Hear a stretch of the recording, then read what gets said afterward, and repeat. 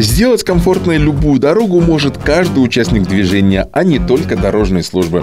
Например, водитель этого грузовика, видимо, и не предполагал, что его авто может заставить понервничать других участников движения. А испугаться есть чего. Грузовик наклонился на правый борт и из последних сил держит равновесие. Кажется, одно неловкое движение руля, и он перевернется.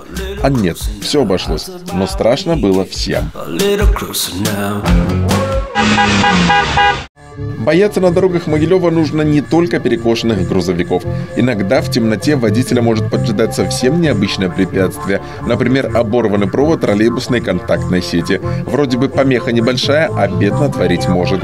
Так что, водитель, смотри в оба. А вообще на дороге может случиться всякое. Могилев, улица Кариулина. Темно невероятно, но вроде бы трасса чистая. Однако это обманчивое впечатление. Вдруг Откуда ни возьмись, в свете фар появляется Анна, мчащаяся навстречу во весь опор собака. Эмоции через край, но в этот раз повезло всем, и автору ролика, и четвероногому нарушителю.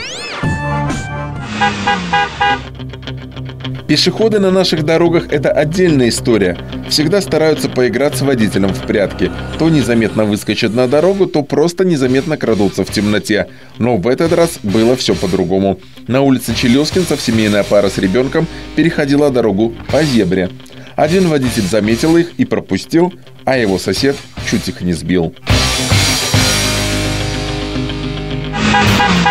И в заключение яркий пример того, что на дороге нужно бояться не только грузовиков, оборванных проводов и собак. Советские «Жигули» – вот это да! Свадебный кортеж в Кургулянском районе Витебской области неторопливо двигался по своим делам. Эта неспешность, видимо, не пришлась по душе водителю светлой копейки. Натужно ревя двигателем, он идет на обгон, а тут на встречной появляется «Фиат». Удар, свадебный кортеж в расцепную, настроение у молодоженов испорчено. Хорошо, что все в этой аварии остались живы. Присылайте свои дорожные истории в рубрику «Автомат» наш адрес, рубрика «Автомат» собака тут.бай.